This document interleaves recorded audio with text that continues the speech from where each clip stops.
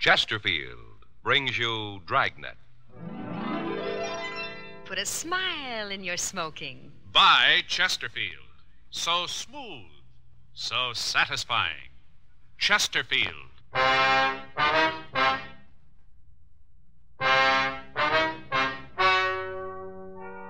Ladies and gentlemen, the story you are about to hear is true. The names have been changed to protect the innocent.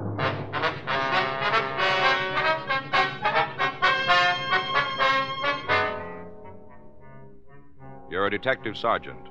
You're assigned to burglary detail. An elderly woman reports that a man has stolen $300 from her apartment. She says she saw him. Your job? Check it out.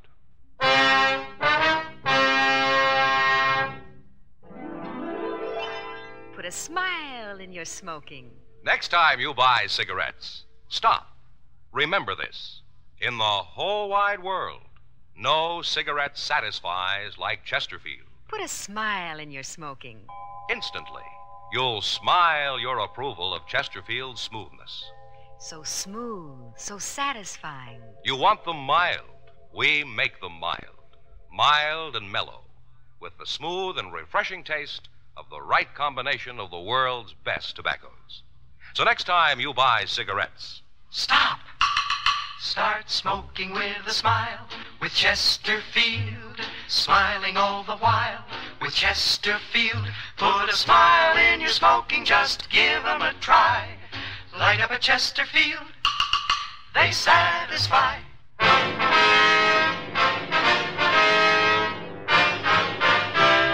Dragnet, the documented drama of an actual crime. For the next 30 minutes, in cooperation with the Los Angeles Police Department, you will travel step by step on the side of the law through an actual case transcribed from official police files. From beginning to end, from crime to punishment, Dragnet is the story of your police force in action.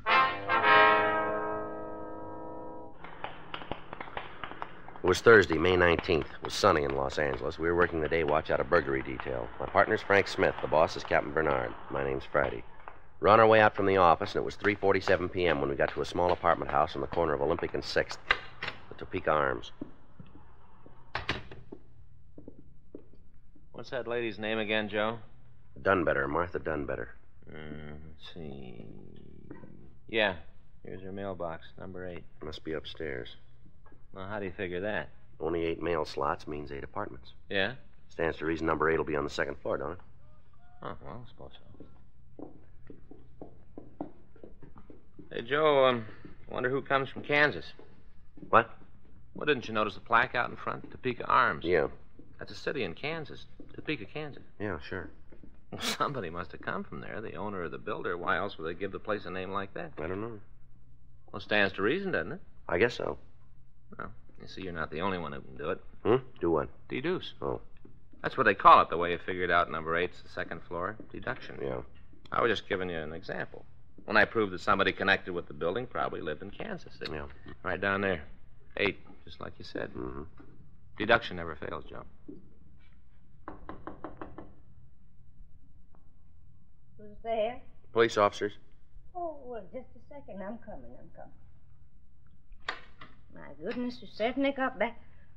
Oh, well, dear me, you aren't the same ones, are you? No, ma'am. This is Frank Smith. My name's Friday. Well, there were two other policemen here just a little while ago. It's a shame you didn't know. Could have saved yourself a trip. That's all right, ma'am. We knew they'd be here. They're patrol car officers. They were in the neighborhood, so they answered your call. Oh, well, I. All right if we come in? Oh, my, yes. Oh, yes. Please do. You're Mrs. Martha Dunbetter, is that right? No, not exactly. Oh, It's Miss Dunbetter. I'm still single. I see. Well, ma'am, would you mind telling us just what happened this afternoon? Oh, no, no, I don't mind at all. It's still quite clear. All right, would you go ahead? What was that, young man? As you go ahead about this afternoon. Oh, well, now, let's see. I fixed myself some lunch. And then I rid up the dishes. It Must have been about one o'clock by the time I finished. All right. Afterwards, I put on my hat and I went down to the library. It's only a couple of blocks from here, the Grover Cleveland branch. Mm-hmm. I took back my books and checked out two fresh ones. All right. What happened next? Well, I come home, and there it was. What's that? I come home, and there he was. Who? Well, that awful man. Well, just where was he? Here, in my apartment, No, I mean which room? over there, the bedroom. I see. As soon as I come in, I heard him. At least I heard somebody moving around. First, I thought it was Mrs. Parker, the manager. I know she sneaks into my apartment and noses around. Of course, she says she doesn't, but I know better. Mm-hmm. Well, I said to myself, I got her red handed this time. So I marched into the bedroom all ready to give her a piece of my mind. Well. Well, I was never so flabbergasted in my whole life. He was standing in front of the dresser, going through my pocketbook. I see. My black bag and leather. That's the one he was holding. Mm-hmm. Well, ma'am, how much money was in the bag? Well, I'm not positive. Not to the penny. About $300. In cash? Yes, sir. You see, I've been saving dimes for the past 15 years. You mean this $300 was in dimes? Oh, goodness gracious, no. Oh. What I do is go through my change every night and put all the dimes in my dime bank. Then, when it's full, I take it down to a real bank and change the coins into bills. A dime bank holds $25. I see. Oh, you'd be surprised how much a person can save that way. It mounts up. Yes, ma'am. Do you know the denominations of the bills? I guess they was mostly tens. Maybe one or two bigger ones. Mm-hmm.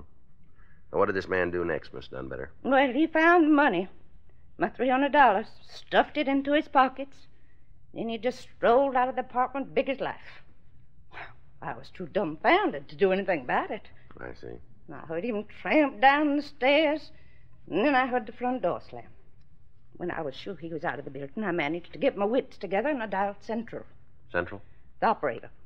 And she put me in touch with the police station. Had you ever seen this man before, Miss Dunbetter? No, I'm sure I never did. Could you tell us what he looked like?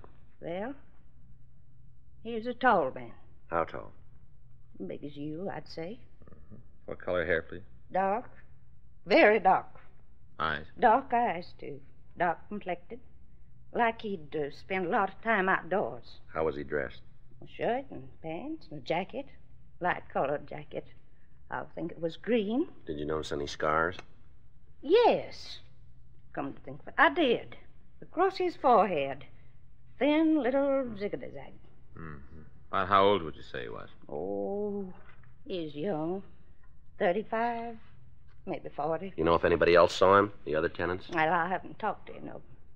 Haven't left the apartment since it happened. You live alone here, do you? Oh, man, no, no. My sister Bessie stays with me. Where is she this afternoon? Well, she went out of town for a few days to visit her grandson and his family. They come down from Oxnard to get her this morning. I see. Tomorrow's her birthday. She'll be 80. I Expect they're going to have quite a celebration. Yes, ma'am. They're all carrying on. You'd think it was such an accomplishment. Well, it is a pretty ripe old age, ma'am. I don't see what's so ripe about it. After all, I'm nearly 79 myself. Oh, I know I don't look it. Everybody thinks there's at least 10 years between us. And Bessie is failing. Yes, ma'am. Just a couple more questions, Miss Dunbar. Certainly, young man, certainly. What time was it when you got home from the library? 2.45. Maybe a few minutes after. No later than 3, though. I see. How'd this fellow get into the apartment? Was the door locked? Well, I thought it was. I always try to remember to lock it whenever I go out, but sometimes I do forget. Well, I guess I did today. Mm. You think you'd recognize the burglar if you saw him again? I most assuredly would. Mm-hmm. Nothing the matter with my eyesight. Well, that's fine. We'd like to take you down to the office with us and show you some pictures, No? just to see if you can identify him. Well, I couldn't go like this. I'll have to change my dress first. Well, I'm all right for walking around in the neighborhood, but not for going downtown. Well, that's up to you, ma'am. I'll say Miss Dunbetter while I think of it. Uh, who came from Kansas? Oh, I'm afraid I don't understand. Well, the name of this apartment, you see, is the Topeka Arms, so I figured somebody connected with it must have come from Kansas. Oh, You don't know who it was, do you? well, now let me think. Oh, yes, yes, I remember. That was old Mr. Hendrickson's idea. Well, you don't say. Yes, yes, he was the man who built this building. Well, now that was, uh, oh, goodness sakes, that was almost 35 years ago. My, how time flies. Yes, ma'am. How you like that, Joe? This Mr. Hendrickson came from Kansas. Hmm. No, no. Minnesota. Minneapolis, as I recollect. Oh? But it was his idea just the same, calling it Topeka Arms. On account of an article he read in the newspaper while the building was going up. Yeah. Said there was more people in Southern California who come from Kansas than any other state. Mm-hmm. So Mr. Hendrickson figured the name Topeka would attract a lot of tenants. It's ridiculous nonsense. Said so at the time. There hasn't been a single solitary one. Oh. Thirty-five years. Not a soul from Kansas has ever lived here.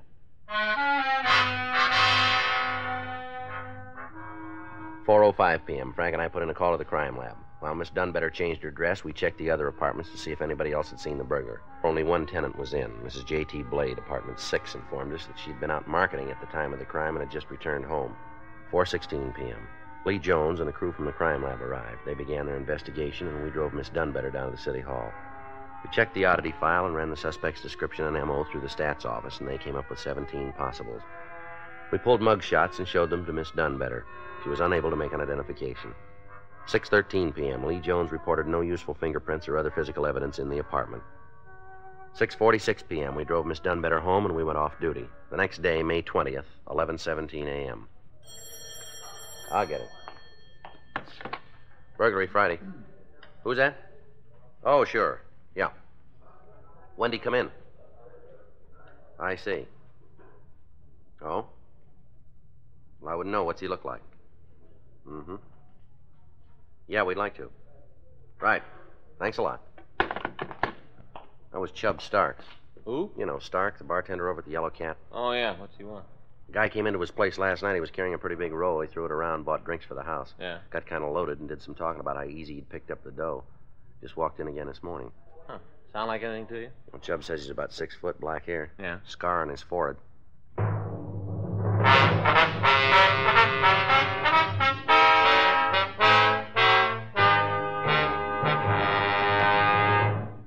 Put a smile in your smoking. Next time you buy cigarettes, stop. Remember this it's today's biggest cigarette news. Chesterfield is made the modern way with Accuray. The Accuray controller is the greatest improvement in cigarette making in years, and it's a Chesterfield exclusive. This amazing quality detective electronically checks and controls the making of your Chesterfield, giving a uniformity and smoking quality never possible before. So buy Chesterfield today. For the first time, you get a perfect smoke column from end to end. A perfect smoke column from end to end. From the first puff to the last puff, your Chesterfield smokes smoother. From the first puff to the last puff, your Chesterfield smokes cooler. From the first puff to the last puff, Chesterfield is best for you. Next time you buy cigarettes, stop. Remember, Chesterfield is made the modern way with Accuray. Put a smile in your smoking, just give 'em a try. Light up a Chesterfield, they satisfy.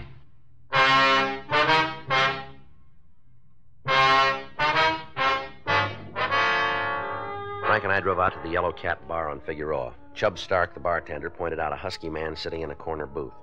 We went over to talk to him. Keep your hands on the table and stand up. Huh? Police officers, on your feet. Okay, okay. All right, you can sit down again. Something eating you guys? What's your name? Why? Come on, what is it? Portlong, Ralph Portlong. Where do you live? Hotel around the corner? How long you been staying there? Since last night. How about before that? Back east, I just got in town yesterday. Whereabouts back east? Uh, what kind of a roust is this? Where back east? All over. Chicago, Cleveland, all over. What kind of business you in? Unemployed. You got any money? Some. How much? Look, I ain't no vag if that's what you're getting How at. much money you got? Hundred bucks, maybe hundred fifty. Where'd you get it? I borrowed it. Who from? Pal. In L.A.? Chicago. What's his name? Johnson, Cliff Johnson. You got his address? I don't know. He moves around same as I do. How are you going to pay him back if you don't know where he lives? We'll bump into each other. What'd you say you got in town, Portland? I told you yesterday. What time? Six o'clock, somewhere in there. Yesterday morning? Last night. You sure of that? Yeah.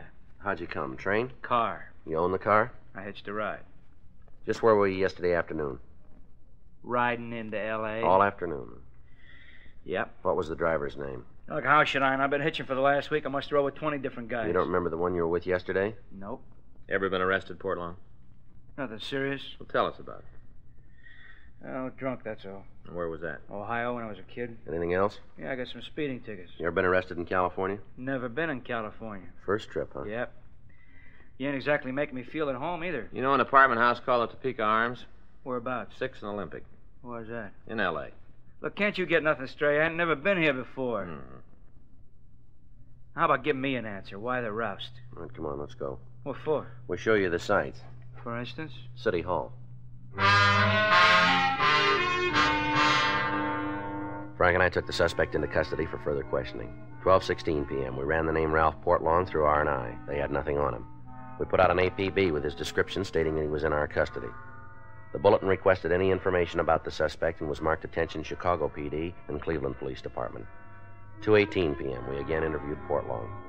He insisted he had not arrived in Los Angeles until 6 o'clock the previous evening and refused to say anything more. 4.06 p.m., we received replies to our APB on Portlawn. Chicago reported two convictions for grand theft auto, and Cleveland reported one conviction for burglary second degree. We telephoned Miss Dunbetter and arranged for her to attend a special show up at the main jail. 6.17 p.m., the show up was completed, and Frank and I took the victim back to our office. Well, ma'am, you're sure it isn't the same man? My goodness gracious, I ought to know. Yes. I Don't see how you could have made such a mistake. Well, he fits your description even to the scar. But I told you it was ziggity zag. Yeah, you did. This man's scar's entirely different. Yes, ma'am. His hair's wrong, too. Is that right? Other man had some gray in it right across here. I thought you said he was fairly young. Hmm, but he doesn't have to be old to get gray. I've been gray ever since I had my appendix out. I was only 34. All right. We'll have you taken home now. It's really a shame. Ma'am? You arrested that poor fellow. And he hasn't done anything. Burglary Friday. Yeah. Yeah, that's right. When'd you get it? No, not yet. Will you notify him? Right.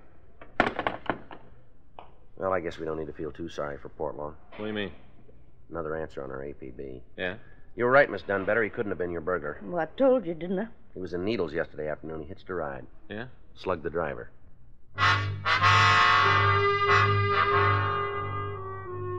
Ralph Portlong was held pending arrival of authorities from Needles. The investigation of the apartment house burglary continued. Two more suspects were brought in for questioning. Both men succeeded in establishing alibis for the time of the crime. Monday, May 23rd, 1:48 p.m. Frank and I were on our way back to the office from lunch. How was your pie? All right? Just okay, huh? I said it was all right. Lemon meringue, wasn't it? Yeah. I don't know, Joe. You should have had apple. Mm-hmm. I told you, stick with apple. You can't go wrong. The lemon was good. You didn't finish it. I was full. Yeah. Well, someday you'll learn. Learn what? Apple pie is always safe. You can't louse it up. Even a bad cook can. Well, I get a little tired of it once in a while, that's all. No reason you should. You can switch it around so many different ways. Yeah, I know. Cheese, a hot sauce. No reason to get tired of apple, Joe. Sure. Hey, Joe. Yeah. Call for you while you were out. Oh? Hey, she wants you to call back. Here's the number. Thanks. Sure. Bessie Maxon. Who's that? I don't know.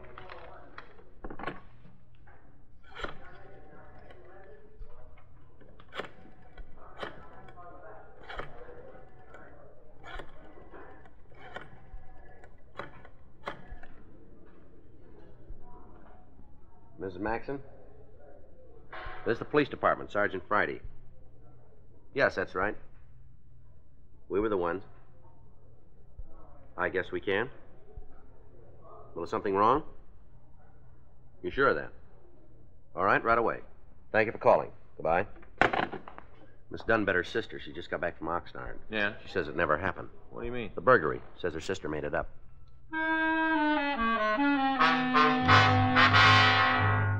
Frank and I drove out to the Topeka Arms and we went up to apartment number eight.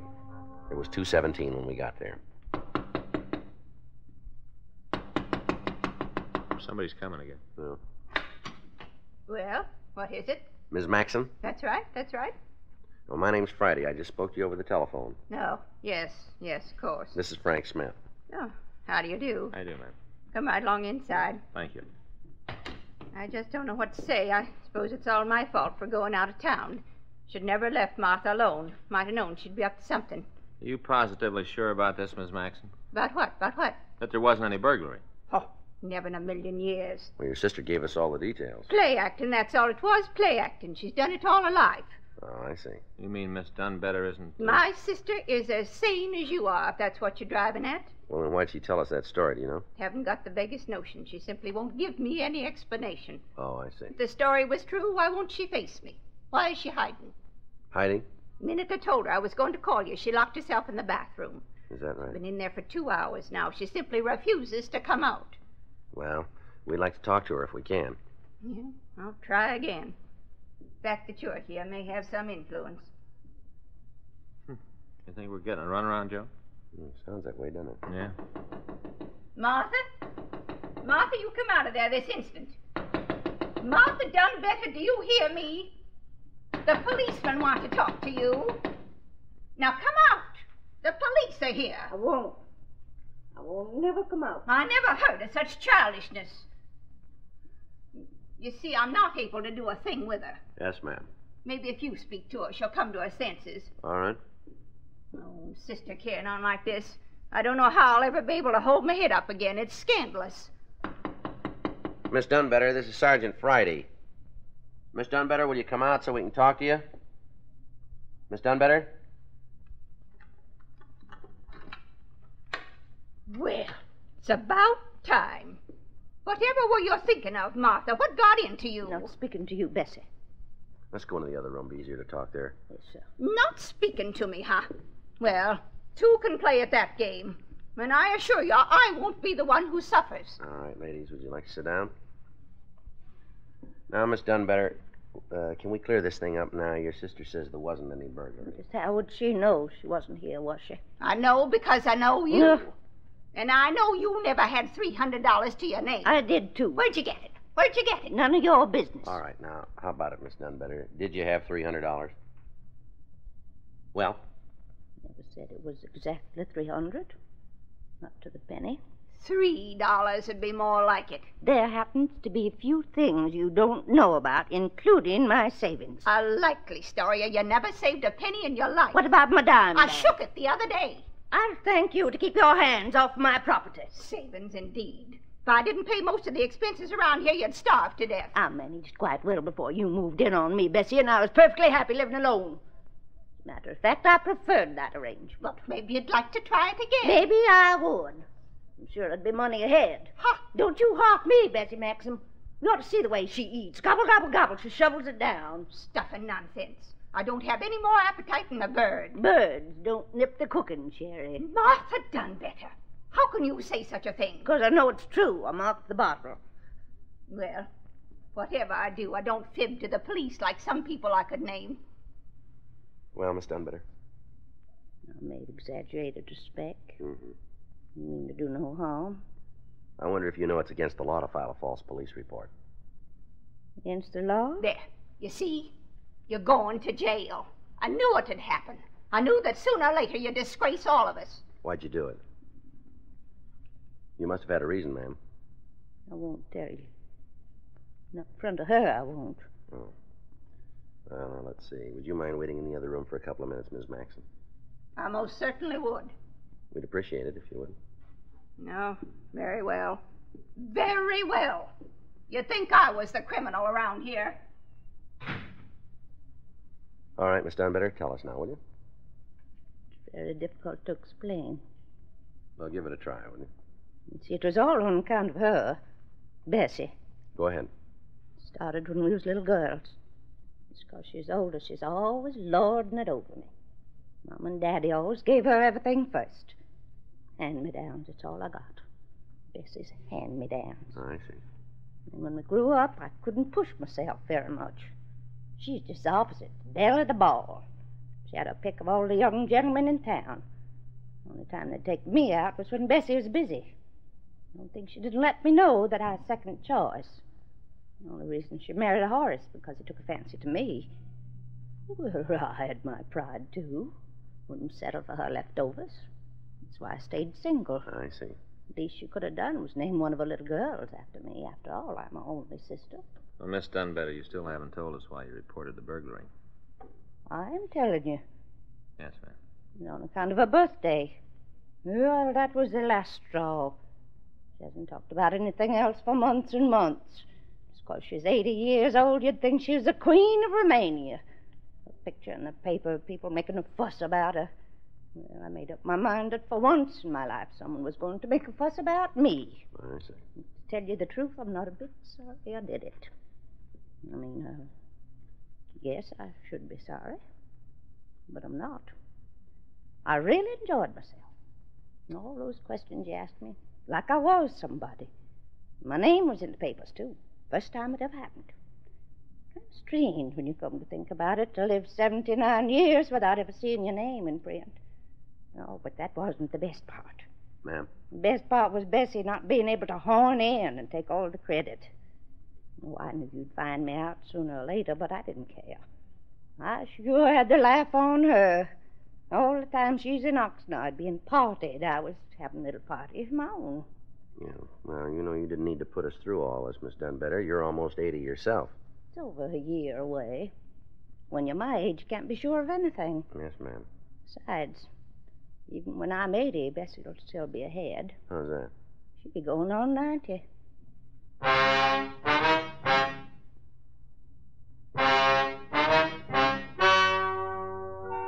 The story you have just heard is true.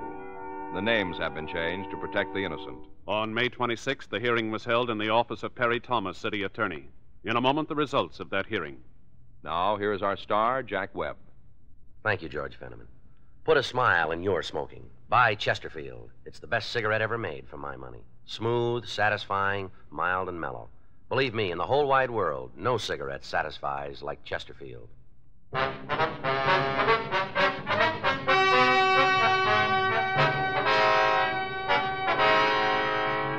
Due to the advanced age of Miss Martha Dunbetter, and because of her assurances that she would never repeat her actions, no charges were filed against her.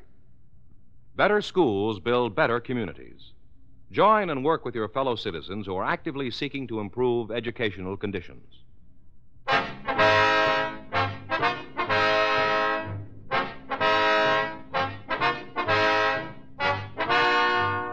You have just heard Dragnet, a series of authentic cases from official files. Technical advice comes from the Office of Chief of Police W.H. Parker, Los Angeles Police Department. Technical advisors Captain Jack Donahoe, Sergeant Marty Wynn, Sergeant Vance Brasher. Heard tonight were Ben Alexander, Virginia Gregg, Jack Kruschen, Helen Kleeb. Script by Frank Burt. Music by Walter Schumann. Hal Gibney speaking. Watch an entirely different Dragnet case history each week on your local NBC television station. Please check your newspapers for the day and time. Chesterfield has brought you Dragnet, transcribed from Los Angeles. This is it, L&M Filters. It stands out from all the rest. Miracle tip, much more flavor. L&M's got everything. It's the best. Yes, L&M's got everything. The miracle tip is white, pure white, to give you the purest and best filter. And you get a rich, good-tasting, fully satisfying smoke from L&M's highest quality tobaccos.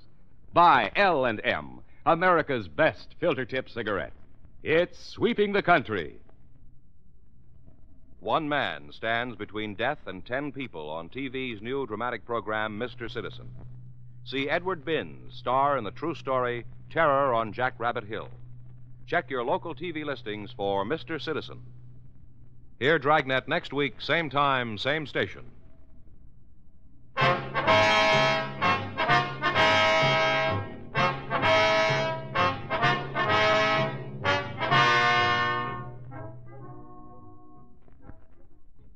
Lux Radio Theater presents Barry Sullivan in Rope of Sand tonight on the NBC Radio Network.